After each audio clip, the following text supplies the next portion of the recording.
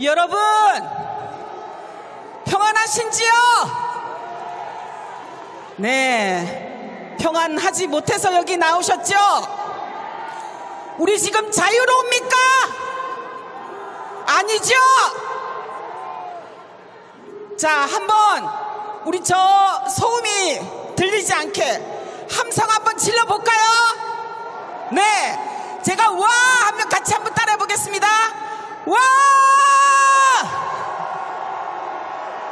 네. 제가 아, 수요시에서 하던 일을 한번 해봤습니다. 네, 우리는 지금 평화롭지 못하고 있습니다. 잊을만 하면 하늘에서 온갖 전쟁 무기가 날아다닙니다. 또 잊을만 하면 동해에서 군함들이 전쟁 훈련을 하고 있습니다. 또 잊을만 하면 일본에서 망언이 터져 나오고 있습니다. 여러분, 군함도 아시죠? 우리 선조들이 조선인들이 강제 동원되어 강제 노역을 당한 곳입니다.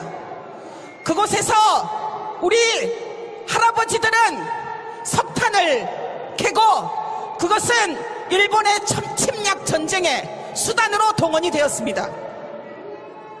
그곳에 다녀왔습니다. 그런데 그곳에는 조선 사람에게는 차별이 없었다 이야기하고 있습니다. 누가 역사를 날조하는가? 그들이 피해자들을 향해서 하고 있는 말입니다. 피해자들의 증언이 거짓말이라고 합니다. 차별도 없었고 임금도 줬다. 그런데 저 조선 사람들이 한국 사람들이 거짓말을 하는 것이다. 누가 역사를 날짜하고 있습니까, 여러분? 바로 일본 정부입니다. 그렇죠? 또 누가 역사를 날짜하고 있습니까? 우리가 일제 식민지 지배를 받고 억울하게 피해를 입은 것 누구 책임입니까 여러분? 일본입니다. 우리 책임이 아닙니다. 우리는 한거하고 싸우고 나라를 찾기 위해 수많은 사람들이 피를 흘렸습니다. 104년 전 3월 1일 모두가 태극기를 들고 대한 독립 만세 평화로운 조국 통일을 꿈꾸며 싸웠습니다. 앞에서 쓰러지면 숨지 않았습니다. 뒤에 사람은 피하지 않았어요.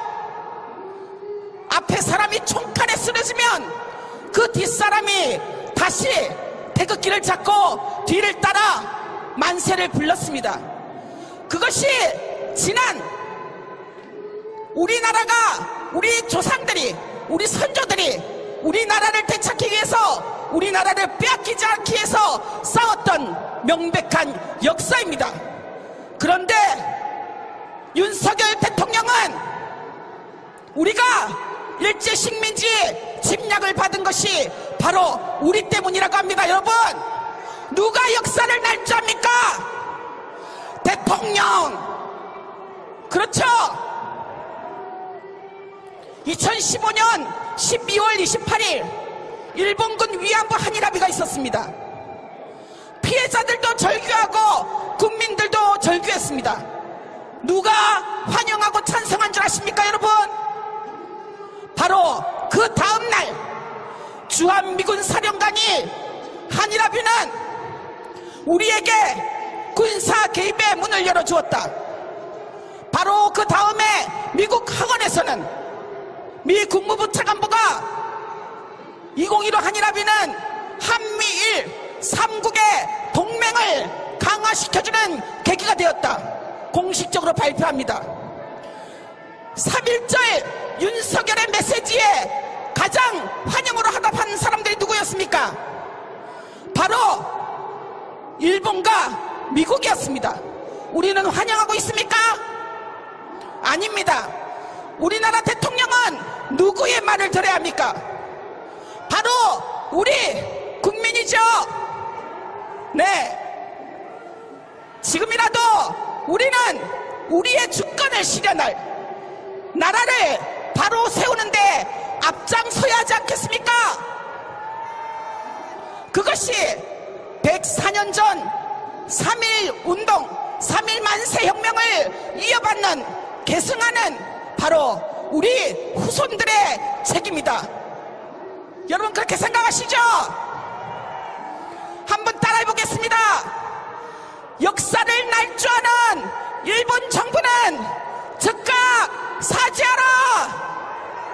사죄하라! 사죄하라! 역사를 날조하는 윤석열은 즉각 사죄하라!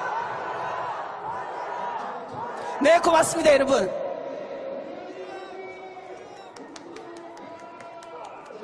네, 우리 정말 큰 응원의 박수가 필요할 것 같습니다. 우리 윤미향 의원님께 다시 한번 박수 주십시오. 네, 정치검찰에 의해서 탄압을 받으면서 정말 고생이 많으셨던 의원님이십니다. 이제 대부분의 어, 무죄를 받으시고 더 당당하게 우리 촛불 국민들과 함께 하실 것 같습니다.